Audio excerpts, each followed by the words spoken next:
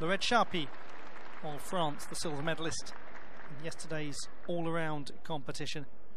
Having had not the best of times on the uneven bars, she now unfortunately has a pretty similar situation occur on the balance beam, very early escape. And just wonder with Charpy, I mean, maybe just put so much into that brilliant all-around success yesterday.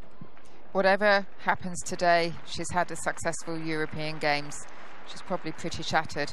But it's a shame because this is the most difficult of the of the routines. So had she nailed the execution, three rotations on the wolf turn.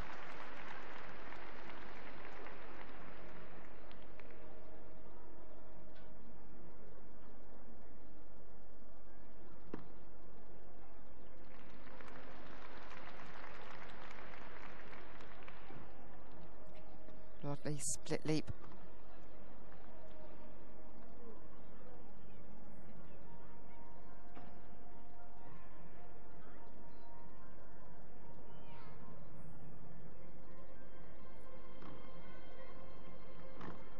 Lovely arch on the free walkover.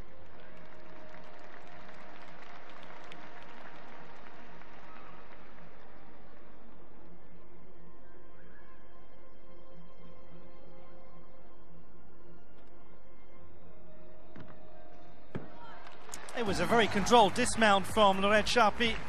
She settled in